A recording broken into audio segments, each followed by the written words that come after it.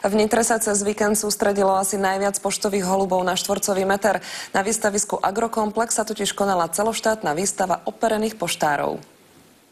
Na Slovensku pôsobí okolo 3000 chovateľov poštových holubov. Keď dajú všetkých svojich operencov dokopy, spolu ich majú cez 200 tisíc. Na výstave v Nitre bolo vidieť len tých najlepších. Okolo 700 holubov, e, sú to holuby z celého Slovenska. Chovateľstvo poštových holubov si drží priazenie najmä u starších. Tento pán holubárči už 61 rokov. Tento rok sa mu prvýkrát podarilo vypustiť do vzduchu víťaza.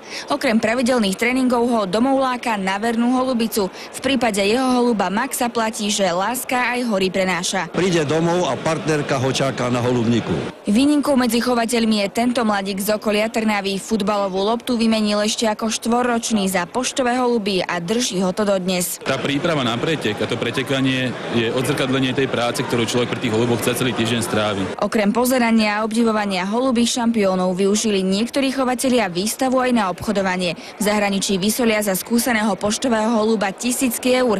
Mladší netrenované kusy idú na dračku aj u nás. A nakoľko si ceníte tohto holuba? Na tých 100 eur. Tak. Keď mať výsledky dobre. Tak Áno, ale tak toto je mladí. Ocenené holuby pôjdu z výstavy rovno na Svetovú olimpiádu. Pretekať s najlepšími budú už o dva týždne v poľskej Poznani. Z Nitry Monika Jelušová, televízia Markíza.